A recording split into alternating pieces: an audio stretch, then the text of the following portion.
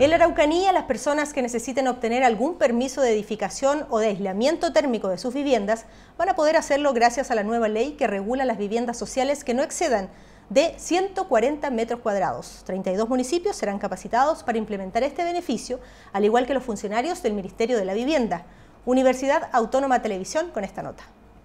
La ministra de Vivienda y Urbanismo, María Zaval, junto a parlamentarios y autoridades regionales, dieron el vamos a la ley de regularizaciones de viviendas sociales. Un beneficio para todos los propietarios que no cuenten con recepción definitiva, total y parcial, y que se encuentren emplazadas en áreas urbanas o rurales. Hoy aquellas personas podrán obtener los permisos de edificación y regularización definitiva. En la ocasión, se dio inicio a la capacitación para los 32 municipios de la región de la Araucanía y de los funcionarios del MIMBU, para que conozcan en detalle los aspectos más relevantes de esta nueva ley. Tenemos una nueva ley que permite regularizar viviendas que fueron construidas por autoconstrucción, que no han sido recepcionadas por los municipios y que lo que buscamos es brindarles una oportunidad a las familias que las han construido, que habitan en ellas, para que regularicen su propiedad, para que la puedan mejorar y que también para que puedan muchas de ellas acceder a los beneficios que hoy día tienen los subsidios habitacionales. Esta nueva normativa permitirá regularizar hogares desde 90 hasta 140 metros cuadrados, además de microempresas de hasta 250 metros cuadrados y equipamientos sociales de hasta los 400 metros cuadrados. Con la edificación regularizada, las autoridades recalcaron que los beneficiados tendrán la opción de acceder a distintas herramientas que el Estado entrega, entre ellas los subsidios de aislamiento térmico. Yo recorro permanentemente con las eh, juntas de vecinos, con los dirigentes, con la población, y uno de los temas reiterativos es la imposibilidad de acceder a beneficios del Estado porque no están regularizadas sus viviendas. Y por esa razón pusimos un proyecto de ley que se fusionó para los efectos de lograr que se regularicen de una manera simple, de una manera en que todos puedan sin problemas acceder. Va a permitir que miles de familias regularicen sus viviendas y lo más importante, que puedan mejorar la calidad de sus viviendas, que puedan incorporar mejoramientos térmicos, que puedan hacer ampliaciones, eh, eh, de tal manera de que estas personas que nunca han recibido un subsidio del Estado eh, para sus viviendas, ahora sí lo pueden recibir. Para la región, se espera que en Padre Las Casas, Pedro de Valdivia, Amanecer y todo Temuco sean beneficiarios directos. Por lo que si usted se encuentra interesado, solo debe acercarse a la Dirección de Obras Municipales de su comuna y presentar una solicitud de permiso, acompañado de documentos como una declaración simple de propietario y el certificado de avalúo fiscal de su mueble. Aquel derecho municipal tendrá un costo, pero que será proporcional al valor de su vivienda. Así que el llamado es optar por este nuevo beneficio que le traerá otros nuevos para vivir en un lugar mejor. En Punta Arenas se celebró el aniversario número 86 de la Fuerza Aérea. En la desembocadura del río de las Minas se instaló una exhibición de aviones, se realizaron vuelos de maniobra de rescate y se presentaron naves de combate F-5. La nota es de ITV Patagonia.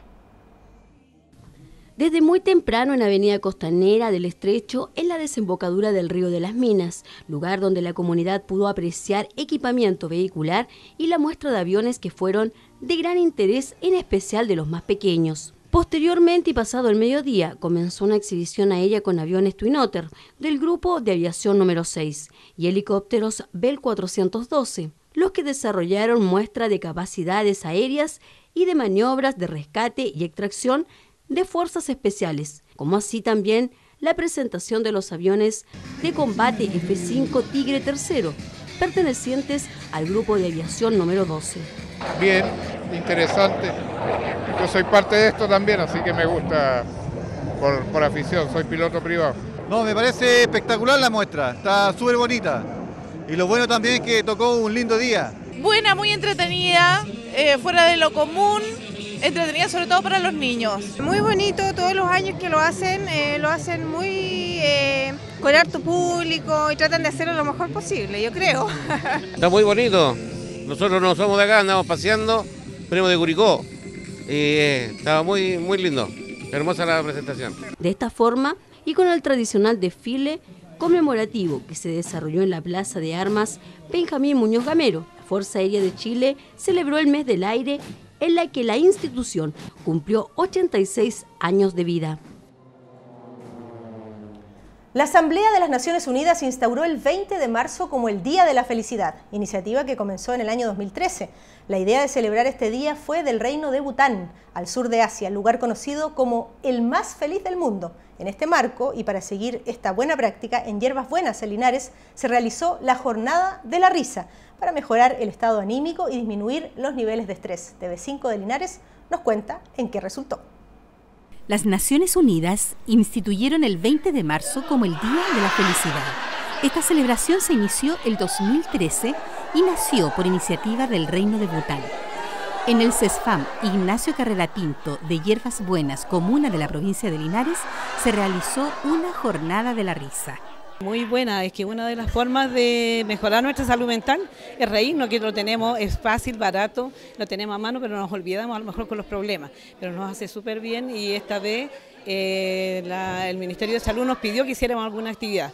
Y el, equipo organizador se preocupó y, y trajo, invitó a hacernos un poco de yoga de la risa. Quienes atienden diariamente público, especialmente en el área de la salud, están sometidos a permanente estrés excelente. Creo que hacía falta y sería necesaria así como una vez al mes esto porque en realidad como que te enaltece y te deja contenta.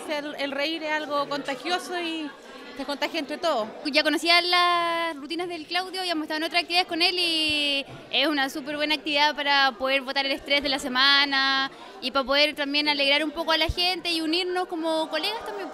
Estas risas, juegos y abrazos permiten las necesarias pausas activas.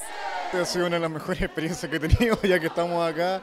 Eh, pueden ver la magnitud de la gente, la energía, fue algo muy bello. Y gracias por el momento este para todos, porque reír es una, es una fuerza que, que básicamente todos los días estoy trabajando y bueno, los que me conocen, gracias. En esta oportunidad, los funcionarios del CEFAM de Hierbas Buenas hicieron suya la antigua receta, la risa, remedio infalible. Y antes de finalizar, en esta época de pago de permisos de circulación, usted puede colaborar con la Fundación Las Rosas, comprando su seguro obligatorio desde 6 mil pesos. La meta de la Fundación Las Rosas es vender 50 mil pólizas para recaudar 35 millones de pesos para los adultos mayores de nuestro país. Y finalmente recuerde que usted puede revisar nuestro informativo completo en la página web www.portavoznoticias.cl. Puede seguirnos en la cuenta de Twitter arroba portavozchile, en nuestra página en Facebook y también en el canal de noticias de YouTube. Portavoz es el esfuerzo de los 23 canales regionales agrupados en Arcatel y le damos las gracias por informarse con nosotros. Hasta pronto. Con el auspicio de campaña Alto a los Incendios Forestales Servicio Militar, tu oportunidad de crecer. No esperes más. Inscríbete. Y Arcatel, Asociación Regional de Canales de Televisión de Señal Abierta de Chile. Hemos presentado Portavoz Noticias.